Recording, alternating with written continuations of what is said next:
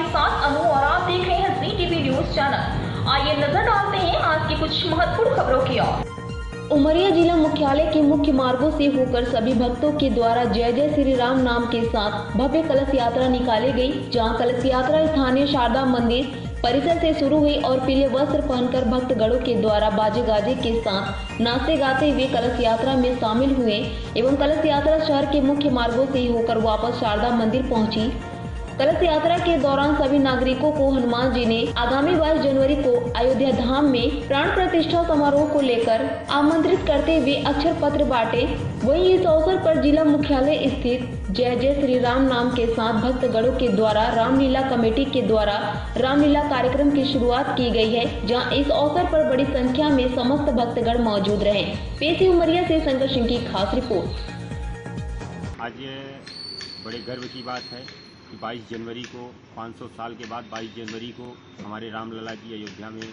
प्राण प्रतिष्ठा उनका होने जा रहा है, अपने गृह गृह में प्रवेश कर रहे हैं। उसी के उपलक्ष्य में हमारे उमरिया जिला से 22 जनवरी को हम लोग रामरथ यात्रा निकालने वाले हैं, जो कि मुख्य मुख्य शहरों पे मुख्य मार्गों के द्वारा साता मंदिर मैहर तक जा कर के अपने सगरा मंदिर से प्रारंभ होकर के मुख्य मार्गों के द्वारा पूरे शहर में भ्रमण किया जाएगा। उसी उपलक्ष्य में आज भक्तों के द्वारा कलश यात्रा भव्य कलश यात्रा निकाली गई। उसी के उपलक्ष्य में हमारे समस्त रीवा से आए हुए हमारे भक्त मंडली के द्वारा यह कार्यक्रम आयोजन हुआ है जिससे आप समस्त नगरवासी सादर आमंत्रित हैं और इस कार्यक्रम को आप सब मिलकर के बढ़ चढ़ करके इसको भव्य रूप से सहयोग करके इसे उमरिया ज़िले से प्रभु रामचंद्र की रथ यात्रा निकाली जा रही है के उपलक्ष्य में अयोध्या में जो राम जी स्थापित हो रहे हैं उसके उपलक्ष्य में कलश यात्रा निकाली जा रही है जो कि गांव-गांव शहर शहर पूरे शहरों में प्रभात फेरी के रूप में दिखाया जाएगा। और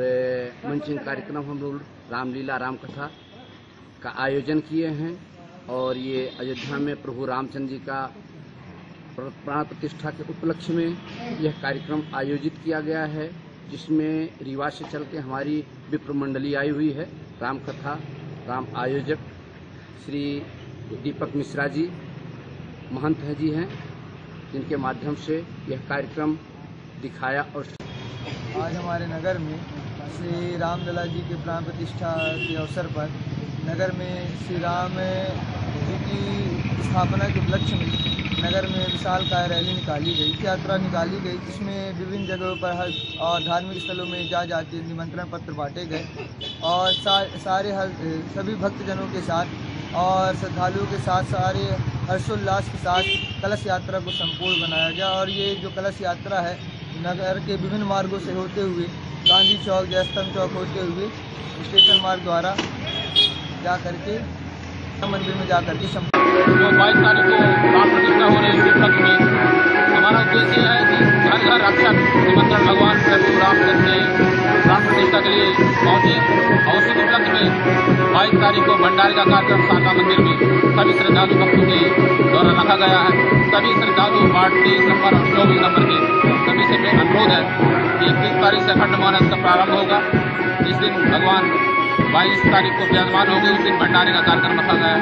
इसलिए जी का जो स्थापना हो रहा है, बाईस तारीख के उस उपलक्ष्य में कल कलश यात्रा निकाली गई है, जिसमें हम सभी अधिक से अधिक वार्ड नंबर तेईस एवं वार्ड नंबर चौबीस के सभी सदस्यों को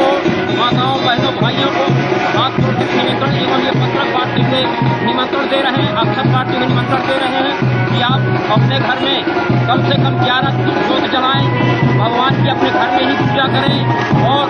शारदा मंदिर में अखंड मानस का जो आयोजन किया गया है, उसमें आप शामिल होकर के अपना भी पूजा पाठ में आप सम्मिलित हों और भंडारे का प्रसाद करें आज हमारे यहाँ पूरे उमरिया जिला में भगवान राम की जो स्थापना हो रही है, उसके कार्यक्रम में हम लोग अपने वार्ड से यहाँ से पूरी सवारी निकाल रहे हैं। और घर घर जाके सभी राम भक्तों को आह्वान कर रहे हैं कि सब लोग आने वाले बाईस तारीख को जहाँ राम मंदिर है, अपने घरों में भगवान राम की पूजा करें, स्थापना करें और ज़्यादा से ज़्यादा लोगों को बताएँ कि भगवान राम की जो बाईस तारीख की स्थापना हो रही है, उसमें बढ़ चढ़ के अपना सहयोग प्रदान करें।